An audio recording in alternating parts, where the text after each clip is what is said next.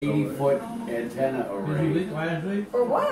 Uh, they were doing a survey of a lake to see how they could, um, keep an eye on traffic. It was there for a good six months.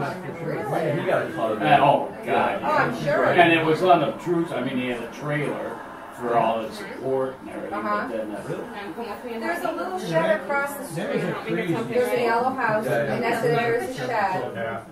And there is some sort of a GPS device in there that tells the water depth for navigating. oh, And excellent. You ran away from me when I uh, Carl is the guy who owns the property. I forget what the